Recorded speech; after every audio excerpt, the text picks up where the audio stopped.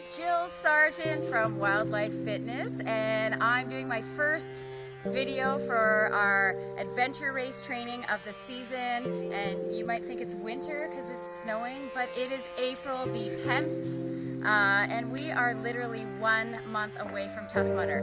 If been or if you're close to Mount St. Louis, you will notice that it's completely covered in snow. So if you haven't started training outside, get your butt outside, find some mud, find some water, and start training in the elements. Because if you've spent all winter in the gym, it's time to get your butt outside and start training in the snow. As you can see, we are still piled and covered in snow.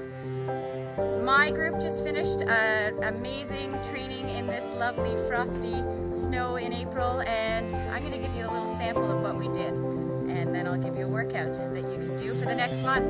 But my advice to you today is get your butt outside because it could be snowing, it could be hailing, it could be thunder, lightning, anything. It's Canada, it'll be May and the hills are still covered in snow. Good luck!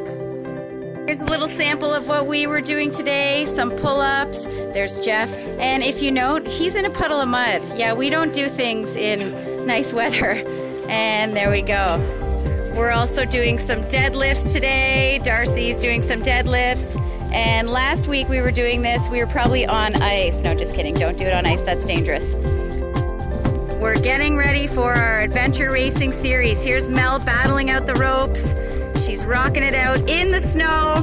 That's right, we don't mess around. We've been training outside in the winter, all winter, and it's time to get outside. As promised, I said that I would give you a quick workout that you can do at home.